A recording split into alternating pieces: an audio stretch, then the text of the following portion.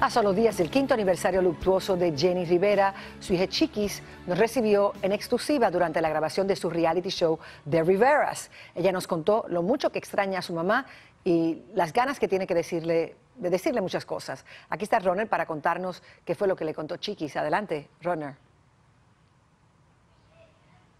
Así es, a solo días de que se cumplan cinco años de la inesperada y triste partida de Jenny Rivera, la mayor de los hijos de la diva de la banda, quien ha sido blanco de especulaciones, escándalos y controversias alrededor de la relación que tuvo con su madre, hoy conversa con nosotros y hablamos con una nueva chiquis, una hija que simple y llanamente extraña a su mamá.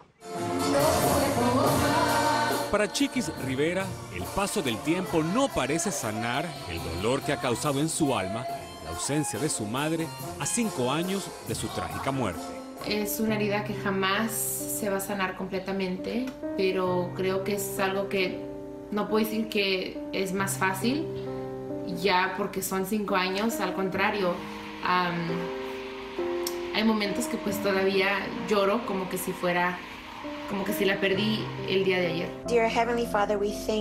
Y son precisamente sus hermanos y la música el refugio donde Chiquis consigue recordar a su madre día a día. Más que nada, mis hermanos son los que más me recuerdan a ella y, hago lo posible de, de, mantenernos unidos porque yo sé que es lo que, lo que ella quiere. Pero hay un vacío que es casi imposible de llenar Extraño muchísimas cosas, sus consejos, sus abrazos, las palabras I love you princess, sus tacos que por cierto muy ricos. Me gustaría nomás abrazarla y decirle, más bien preguntarle si está orgullosa de la mujer que soy. Si se pudiera retroceder el tiempo, hay algo que Chiquis quisiera cambiar en su historia junto a su madre. No ser tan dura con ella en el aspecto de cuando ella se iba a trabajar, eh, le reclamaba mucho, eh, que obviamente ella era el motor de nuestra familia y tenía que salir a ganarse el pan y, eso es algo que sí me gustaría cambiar si pudiera, ¿verdad?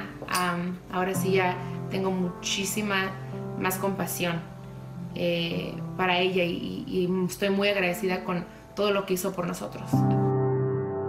Bueno, Chiquis nos contó que este 9 de diciembre, el día del aniversario de la muerte de su madre, la mejor manera de recordarla será haciendo algo para ayudar a la comunidad que tanto Jenny quiso y ayudó y que fue el mejor legado y enseñanza que le dejó a ella y a sus hermanos.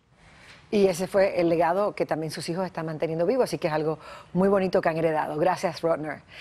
Muestra justamente la relación que existe entre la desaceleración y los grandes terremotos. La predicción no permite decirte